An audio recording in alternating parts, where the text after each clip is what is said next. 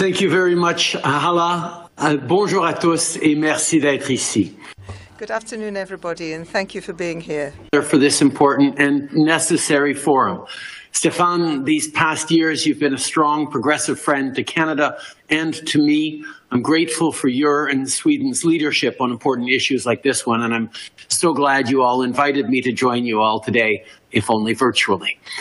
Today's discussions will allow us to continue developing a common international approach to fighting anti-Semitism. I got to listen to a few of the previous speakers, so I want to thank Ursula, as always, for her steady, compassionate leadership on this issue, but also highlight my friend Edi, the Prime Minister of Albania, for reminding us all that it's not enough to simply say you stand for inclusion and against hatred. You need to lead with determined and resolute action like he has, like so many of us are pledging to do. Canada is deeply concerned by the surge of anti-Semitism both at home and abroad. We must work together to promote inclusion and respect for diversity around the world because no one should fear to express their Jewish identity or practice their religion. And no one should face hatred in their own neighborhood, no matter where they live. That's why we must continue to stamp out hatred whenever it rears its ugly head. Already, Canada has been very engaged. In 2019, we developed a national anti-racism strategy. As part of this strategy, we adopted the working definition of anti-Semitism developed by the International Holocaust Remembrance Alliance. We will continue to firmly support it, just like we will continue supporting the supporting IHRA. We hope that others will join too, increasing the number of countries embracing this important definition. Canada will also continue to expand publicly accessible Holocaust-related remembrance and education materials and bring awareness to the dangers of anti-Semitism. On November 25, 2020, we appointed Irwin Cotler as Canada's Special Envoy on Preserving Holocaust Remembrance and Combating Anti-Semitism. His mandate is to help advance Holocaust education, preserve the stories of survivors through younger generations, and combat domestic and global anti-Semitism. As part of our pledge for this event, we're now making the special envoy role permanent and supported by increased resources.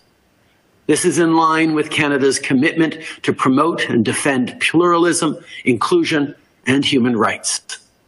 Education and awareness will always be key to combating Holocaust distortion, anti-Semitism, and all other forms of racism. That's why on International Holocaust Remembrance Day, Canada announced $2 million in support of a UNESCO initiative in partnership with the United States Holocaust Memorial Museum. The goal of this initiative is to address the role of discrimination through education and intercultural dialogue. In July, we convened a national summit on anti-Semitism in Canada.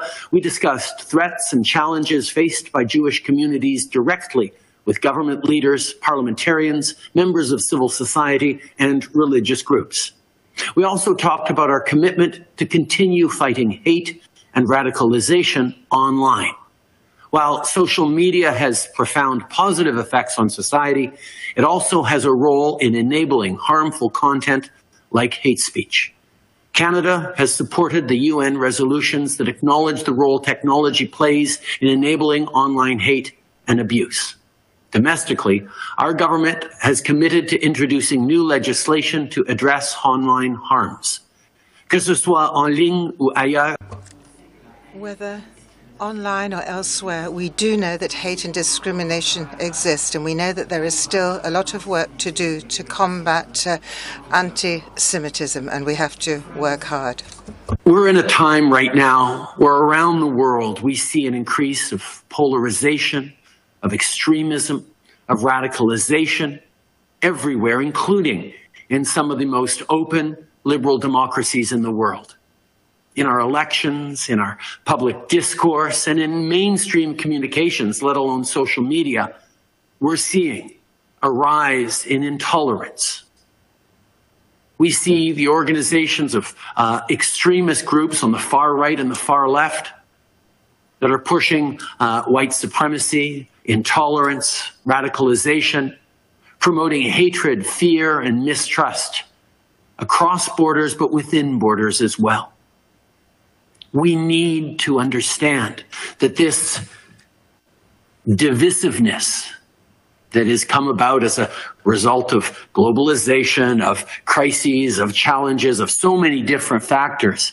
Uh, indeed, the access to information that we have through the internet and therefore to misinformation and disinformation has real life consequences that we need to address as governments and as societies. Now, our friend Antonio Guterres just uh, likened anti Semitism to uh, a seismographic event, uh, little earthquakes that you know, shatter or challenge um, the multilateralism and the solidarity we have. But I actually like the way my friend Irwin Cotler points out uh, and points to anti Semitism as being the canary in the coal mine of evil. We've seen so many different radical extremist groups of various types lashing out at so many different things.